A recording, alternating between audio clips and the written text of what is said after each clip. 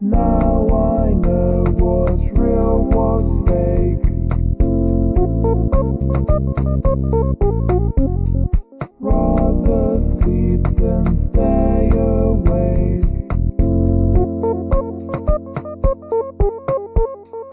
Just